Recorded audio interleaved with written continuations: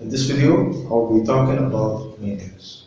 Maintenance is the very important thing after finishing project. So, maintenance is all about uh, having a stable product, a stable application, a stable service. Okay?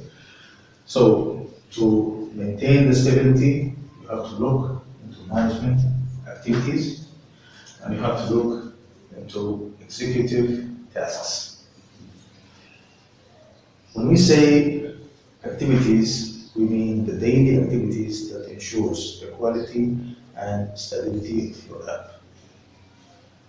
So, if you have a stable app, you, you have stable activities, daily, weekly, every hour, every month, every year. There are activities that has to be defined by you, okay, to uh, ensure that, uh, that your, your app is stable.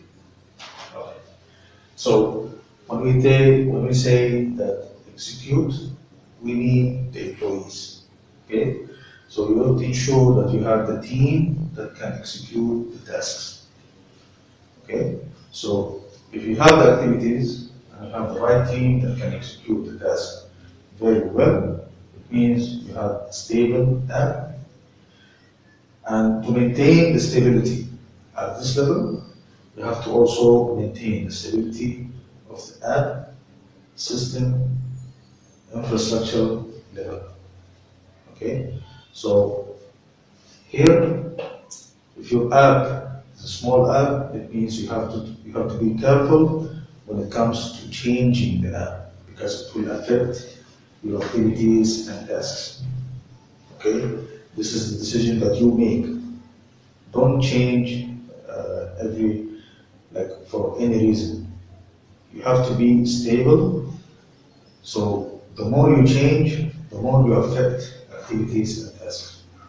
So in app, you have to be stable and system-wise because if you have an app or multiple apps and you have a system, changing has to be managed in an easy way because it will also affect activities and tasks.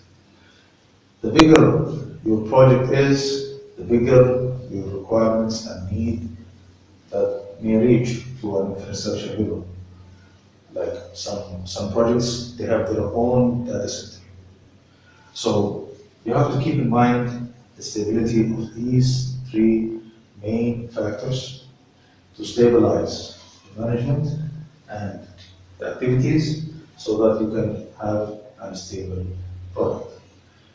The achievement you have is always dependent on your choices you make here.